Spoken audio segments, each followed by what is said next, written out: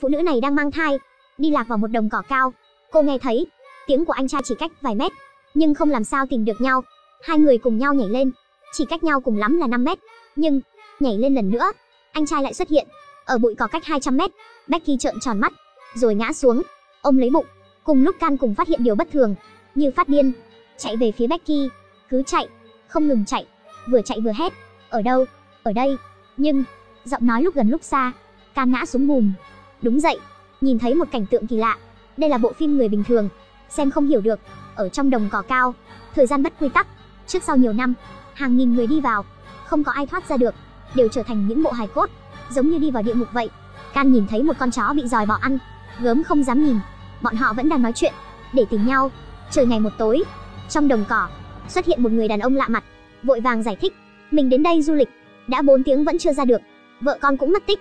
Cùng lúc này, một cậu bé xuất hiện bên cạnh Can, người đàn ông lúc nãy là bố cậu bé. Hai người kết bạn với nhau. Một năm sau, một chiếc xe đang đổ xăng ở trạm xăng thị trấn, châm điếu thuốc, bổ phổi, cầm một bức ảnh, dường như đang tìm bọn họ. Ở bên đường, nhìn thấy bên ngoài nhà thờ có rất nhiều xe đậu, biển xe cũng bị bụi che mờ. Quay đầu nhìn về đồng cỏ, đi vào nhà thờ, bên trong không có ai. Thử mở cửa, kết quả cửa bị khóa rồi. Sau khi đi ra, trực tiếp đi vào đồng cỏ, dường như có thứ gì đang thu hút bọn họ. Travis rất thông minh, cứ 30 mét thì để lại ký hiệu. Nhưng sau khi rời đi, ngọn cỏ lại trở về ban đầu. Cảnh tượng kỳ dị, ai thấy mà chẳng sợ. Travis dần đi sâu vào, ngẩng đầu nhìn, bầu trời dường như có hai mặt trời, khiến anh mất phương hướng. Trời ngày một tối, lúc Travis nghỉ ngơi, cậu bé lại xuất hiện. Hai người như quen nhau. Cậu bé nói ra tên người mà anh đang đi tìm. Cậu bé đưa Travis tìm Becky. Cô đã biến thành cái xác khô, mùi thối bốc lên.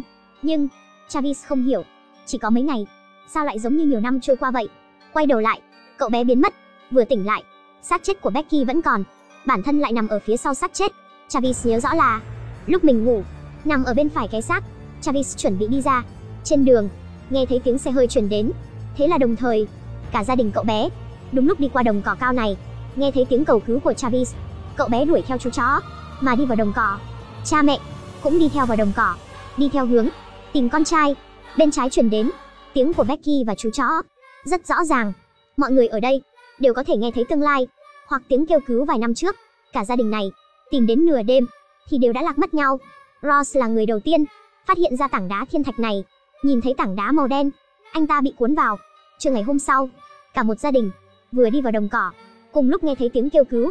Travis lần nữa nghe thấy tiếng của Becky, khiến anh cảm thấy vô cùng thân thuộc. Đã quên đi việc mình vừa nhìn thấy cái xác khô, làm theo hướng dẫn của Travis. Cậu bé liên tục hát, mấy người men theo tiếng hát, tìm được cậu bé. Hai người nhìn nhau, không dám tin, cô lại mang bầu rồi, mà nhìn có vẻ sắp sinh rồi. Can nói, bản thân đi lạc ở đây hai ngày, nhưng lúc Travis đến đây, xe hơi của bọn họ đã phủ đầy bụi. Can không tin, mấy người chỉ đành tiếp tục đi tìm đường ra, ở trong đồng cỏ có thể nuốt chửng những vật sống. Becky nhận được cuộc điện thoại 8 tiếng sau của bản thân, nói với cô, xin đừng ăn thịt con mình. Bọn họ nghe xong thì khó hiểu. Sau đó là một tiếng kêu bi thảm. Cúp điện thoại, bọn họ đành đi về phía trước. Bọn họ không biết, bọn họ chỉ là một trong hàng nghìn người đi lạc trong đồng cỏ này. Trong mấy tháng gần đây, trong lúc hoảng hốt, Becky xuất huyết rất nhiều, rồi ngất đi. Trong giấc mơ, cô nhìn thấy mọi thứ sắp xảy ra. Từ hình ảnh chưa nhìn thấy, tỉnh lại, trước mặt lại là Tos. Ông ta nhanh chóng lấy được lòng tin, đưa theo bọn họ đến chỗ tảng đá, rồi giới thiệu về nó. Ông ta dường như hiểu nó, nhẹ nhàng sờ lên trên, hưởng thụ điều gì đấy. Travis định chạm vào, ông ta rất hưng phấn, bỗng bị vợ ông ta ngăn cản. Bà dường như sợ hãi chồng mình, nói rằng bản thân nhìn thấy xác chết của Becky, còn có Tos, Travis và chú chó, nhưng người trước mắt này đều đứng sờ sờ ở đây. Becky đột nhiên đau bụng, nhớ lại, Tos bị đồng cỏ hắc hóa, hai mắt trắng trợn, bọn họ vội vàng lùi lại. Tos cũng khó hiểu, bản thân chỉ cảm nhận vẻ đẹp của tảng đá, tại sao mọi người không muốn thưởng thức cái đẹp chứ? Tos nói rất nhiều, ông ta chính xác có vấn đề. Bỗng quay đầu lại, đồng cỏ trở nên yên lặng. Travis đẩy ngã Tos. Hai người đánh nhau, ác mộng của bọn họ bắt đầu. Đồng cỏ phát ra âm thanh vang trời. Tos túm tóc người vợ, ra hết sức, gương mặt đẫm máu, đầu bị bóp nát, máu bắn lên mặt Tos. Đồng cỏ trở nên gắt gỏng, mấy người bỏ chạy. Đồng cỏ phát ra tiếng người gào khóc. Trên đường bỏ chạy, gặp chú chó của cậu bé. Dưới sự dẫn đường của nó, bọn họ chạy đến một căn nhà, đạp tung cánh cửa, tiếp tục bỏ chạy, mở cửa trên sân thượng, sau đó khóa lại. Nhìn đồng cỏ ở dưới, cũng không lớn lắm, nhưng đi vào, mãi mãi không thoát ra được, giống chú chó vậy, đi vào bụi cỏ, liền biến mất. Travis không đứng vững, rơi xuống dưới, can theo bản năng túm lấy, sau đó, rồi lại thả ra. Travis rơi xuống, mọi thứ đều bị cậu bé nhìn thấy. Toss đến rồi, bọn họ chạy đi. Từ một lối khác, Toss không đuổi theo. Becky hỏi Can, Travis đâu rồi? Cô muốn quay về tìm Travis, liền bị Can ngăn lại. Rất rõ ràng, bản tính hẹp hòi của anh ta trỗi dậy. Tos xuất hiện, tóm lấy Can, liền bỏ chạy, cứ chạy như kẻ điên. Kết quả, nơi đây là chỗ Tos bị hóa ác. Quay đầu lại, Can nhìn thấy bản thân, hai người, ba người, Can và những cái xác khác hiện ra trước mắt. Becky bị bụi cỏ vây chặt, nhấc bổng lên, đưa đến chỗ tảng đá. Sau đó cô gọi điện thoại, kết quả giống y hệt. Cuộc điện thoại cô nhận mấy ngày trước, cùng một lời nói, mặt đất xuất hiện cái hố không đáy, vô số cánh tay bên dưới. Đang đau đớn, ai oán, giống như địa ngục trần gian vậy. Mọi người ở đây đều là những người đi vào đồng cỏ, không có ai thoát ra được. Tỉnh lại, trước mắt Becky xuất hiện một người đàn ông, cho cô uống nước, còn có thức ăn. Becky quay đầu nhìn, lại nhìn thấy con mình đã bị chính bản thân trong lúc mơ hồ ăn sống mất. Gương mặt người đàn ông lộ ra gương mặt Tos. Cùng lúc này, Travis xuất hiện. Anh không ngã chết. Nhìn thấy Becky đang thoi thóp, đã chết rồi, còn có đứa trẻ bị giết. Cậu bé lại xuất hiện. Travis ôm lấy cậu, nói với cậu, đợi một chút. Khập khiễng chạm lên tảng đá. Travis tự nguyện hóa ác, cơ thể bị bụi cỏ vây lấy. Anh là người đầu tiên từ bỏ sinh mạng để bảo vệ người khác. Nói với cậu bé đi theo mình. Travis dựa vào ý chí và phẫn nộ, xông qua đám cỏ, đưa cậu bé đến nhà thờ. Cậu bé đi khỏi.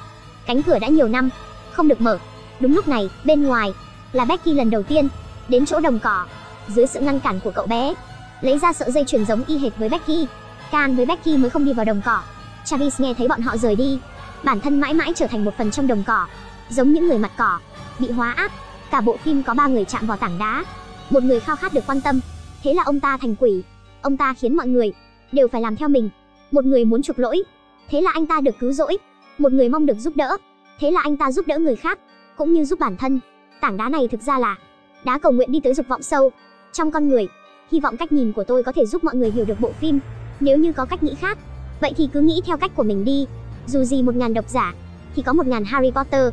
Tôi chỉ muốn giải thích cho những người xem không hiểu, định đánh giá thấp phim, để mọi người dơ cao đánh khẽ. Dù gì chất lượng bộ phim này quá tuyệt. Vì, đến đây là hết. Chúng ta lần